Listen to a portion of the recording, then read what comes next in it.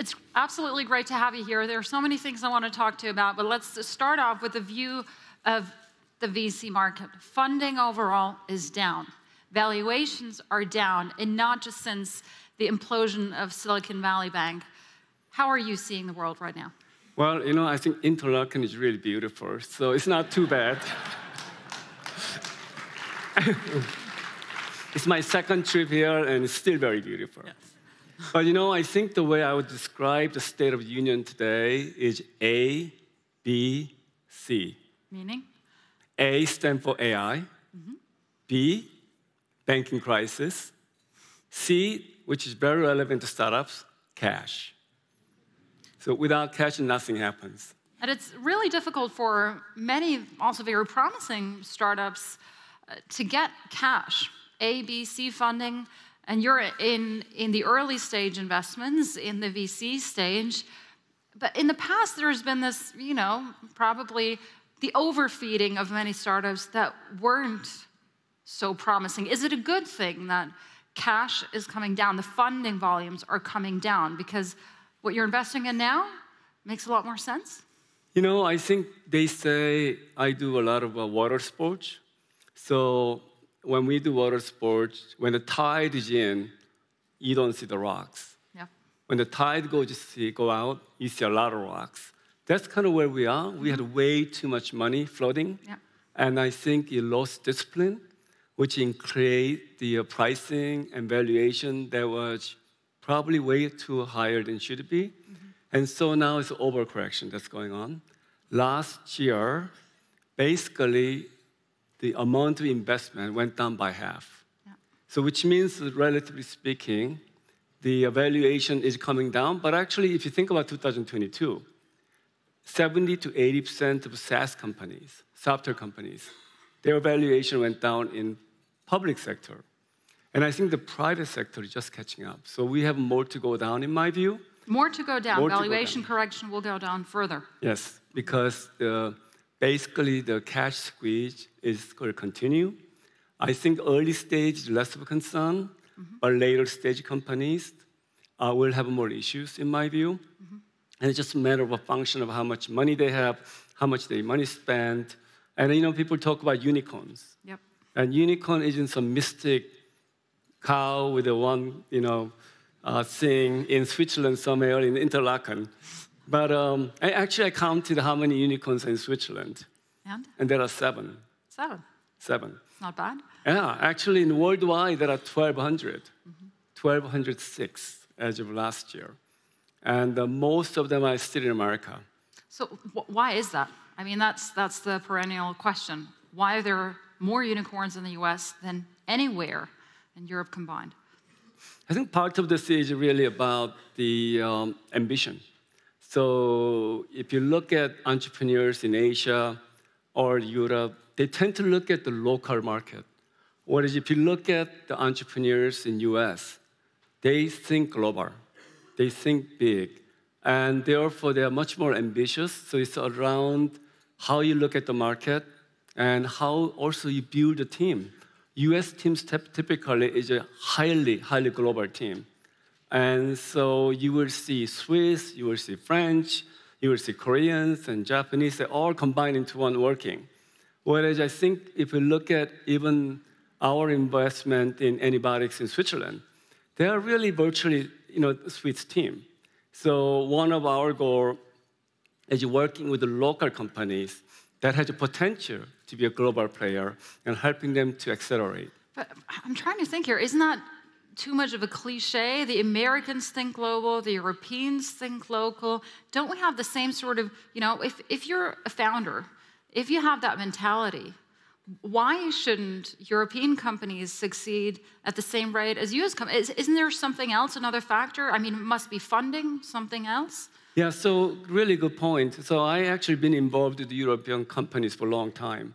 And I am actually say two companies that are really uh, important companies that Europe create. One is a company called Arm Holdings, which I was a supervisory board member of and built a company over the years and become de facto standard. Every one of you carry ARM in your pocket because the processor behind in your mobile phone is based on ARM that was produced or designed by Apple or Samsung and then produced by either Samsung or TSMC. So this is an example of how global this business is. So when you're designing products or service, you want to go after the whole market. Uh, whereas if often you find the uh, entrepreneurs that are looking at how do I optimize Germany first? How do I optimize French market first? Then you become local team, and local team has its own limitations. Mm-hmm. So would that be your one key piece of advice to Swiss entrepreneurs, to, to or to Swiss startups in a way? think global, think outside of the box? I think there Is are. Is that easy? No, I think there are three or four things. Okay. Just because you can say go global doesn't mean you can go global. No. I think you have to mix the people. And you have to mix the people in this room too. You know, if you want to you know, make Swiss Economic Forum international, then maybe you can add more of me in the room, mm-hmm. be able to mix up and being able to bring new ideas then maybe uh, help you to change the dynamics. I'm not saying it's good or bad, mm-hmm. it's just a matter of what you want mm-hmm. and what you're comfortable with.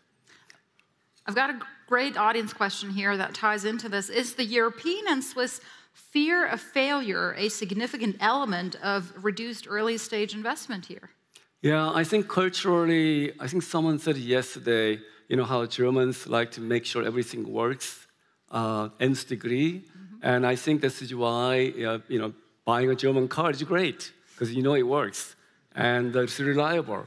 So it has the advantage of that perfection, and Japanese cars too. But the problem in a digital world, most things are moving much faster. So you have to go through much more testing. Sometimes it doesn't work out. And so in that area of experimentation, in the digital world, using the technologies, then I think the business model have to change. So depend on industry. Mm-hmm. Or I think the speed matters a lot, and I think Elon Musk has shown in auto industry what's possible mm-hmm. by bringing. Basically, all he did was all the technology that was developed in mobile phone and bring it into auto industry. Mm-hmm.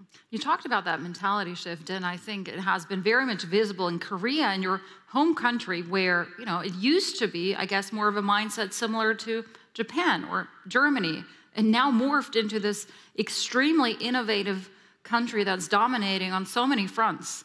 H- how do you make that switch happen? So um, I've been asked that question a lot, and I um, I'm also spend a lot of time in Japan and Germany because their industrial companies have been uh, sitting there. So I, I think the way I look at it is the perfection is good. It's an incremental innovation. Typically, it's a craftsmanship. So when you are building some great products that are incremental innovating, Japanese and Germans are really the best, and Swiss, of course, as well. But the point I think is it's a cultural. The problem is in those culture, when you want a drastic change and drop everything you've been doing and try to change, it's hard. And Korea, actually, and Chinese too, the advantage of Korea was they didn't have this long history of craftsmanship mm-hmm. because they kind of lost that during the war and during you know, everything got blown away. So they have to rebuild. And I think it's the digitalization helped Korea to be the top 10 largest economy in the world now. Mm-hmm. Young, let's talk about your investment into Anybotics. That was Series B investment, big investment. What did you like about this company? You know, I think it's a very Swiss company that I liked as well because it is spin out of ETH, uh, robotics lab great engineering talent, and we really like the team, and they want to do better, and they already have a strong customer traction uh, in the area of industrial applications, which is very difficult to do. So they build things not only just robots that are walking around, for sure, like Boston, but they actually build something that are really working. And I'm hoping that it can deploy and save lives as they're going into the oil field, power stations, chemical plants, so that it can be able to really save lives the, by replacing what robots can do, not just some pad or something just to, to, to look at it. Mm-hmm. We have the co-founder and the CEO here. Come on, come on up on stage.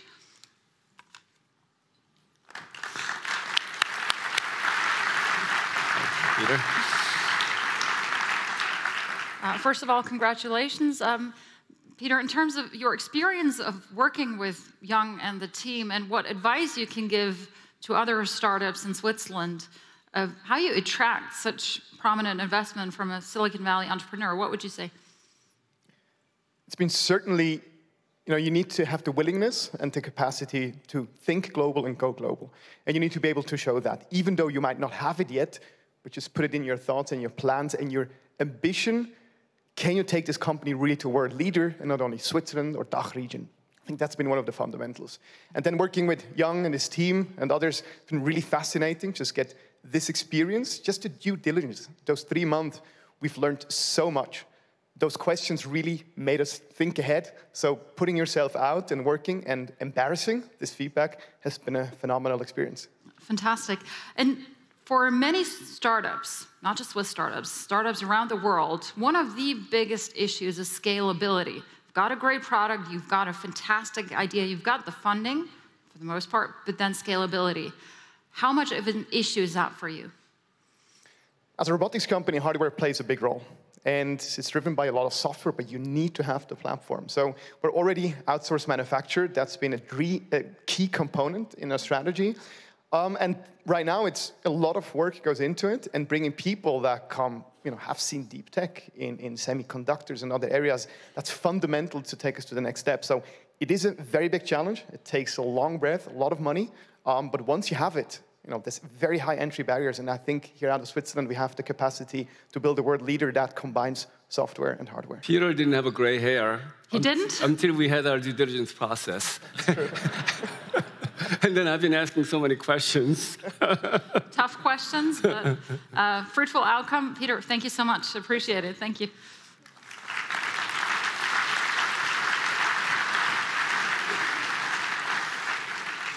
All right, let's talk geopolitics because the, the panel or the, the speech that's coming up after this is all about that. And your industry is no stranger to that either. One of the biggest prominent VC investors in Silicon Valley, Sequoia, has just carved out the China unit. Mm-hmm. And that had a lot of people thinking, so what do we do? You know, as an, a US investor, we simply can't invest into China anymore? I think this is the uh, new reality.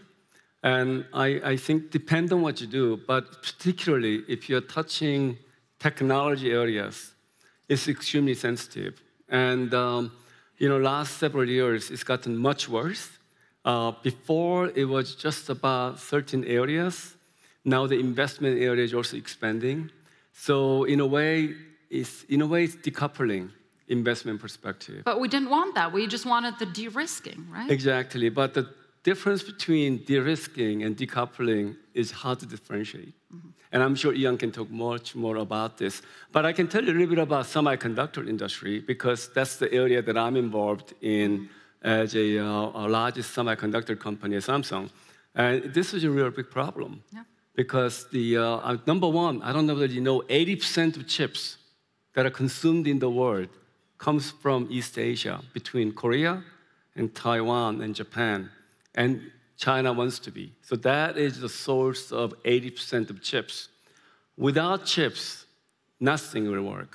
The whole modern world will stop. And that's why some analysts and commentators will say these tensions, these geopolitical tensions, it's all about dominance and chips. And some say if China builds up its own supply chain and chips, if the US does the same, well, China's no longer interested in, in Taiwan. Is it really that straightforward? Is it all about chips, this geopolitical? Well, chips is really representation of your intellectual power, your AI capability, your software capability that are coming together. And today, the most valuable company in the um, chip now is NVIDIA. NVIDIA. And because of AI. And it enables all of you. Without that, you wouldn't be able to run your ChatGPT in, an efficient manner. So it matters a lot. In a, in a race for technology, in a race for global competition, chip is the new enabler. And it's actually old enabler that are really discovered. And I think it is the area of a big contention. And TSMC turned out to be the major supplier of that, along with Samsung mm-hmm. and Micron and others. So there is a lot of uh, decoupling or de-risking that are going on. Mm-hmm. You mentioned Micron because essentially Micron has been, well, banned from doing business in China, and they derive, I don't know, a quarter of their revenues from China. That, so that's a big deal for that US chip maker. But wouldn't someone like Samsung Electronics just fill the gap? I mean, that's very opportunistic for others, not just Samsung, to come in and say, hey, you know, we'll take the place happily. Well, uh, you know, depend on products. Some products are multi-sourced, so yes, but some products are single-sourced. Mm-hmm. If it's single-sourced product, then you are stuck with it, and you cannot run your machines. So um, um, I, am actually, I'm hoping that there will be a better the town, the, so the, as a businessman, it's much better in terms of investment, in terms of the uh, decision making, optimizing the resource. Today, it's very hard to navigate. We have to make actually big plant expansion in U.S. because America wants to have their own source of chips, not from Asia. Mm-hmm. So that's another big source of redundancy that we have to create. Mm-hmm. Sam, before I let you go, I want to come back and talk about funding. And, and again, this ties into geopolitics. Well, funding in the US and the rest of the world, Western world, was down. A lot of funding came from the Middle East, specifically Saudi Arabia. And of course, investors, many investors and funds were happy to take that investment because it's, it's a cash infusion, it's money. Is it socially acceptable though? Well, you know, a few years ago, it was Russian funding. Was it acceptable then? Apparently, yes. Well, that's what's going on. We don't learn. Are you taking Saudi funding? Uh, no, uh, we don't have any Middle East money. All right. Let's get to uh, one or two last audience questions. How would you optimize the ecosystem of startups and large companies to produce more innovation? Well, that's a big question. I think the question of all the government and others, but I think it's about making sure there is a um, university relationship where because I think a lot of innovation comes from universities in the U.S. and programs. And same in Switzerland. Exactly. So ETH, EPFL, like yesterday, really important and having a long-term uh, encouragement. But there's one thing I would say: there got to be incentive for entrepreneurs. Uh, I noticed in Germany, for instance, the moment you get stock options, which is a big incentive, you get taxed on a valuation they may not realize. Yeah. In fact, paying tax up front doesn't make any sense. Only when you make money, you should pay tax. And I think things like this have to change.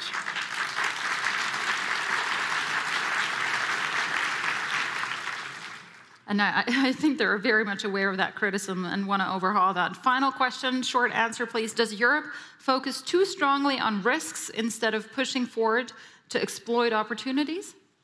I think the, I will just say that European technology uh, companies and talents are brilliant.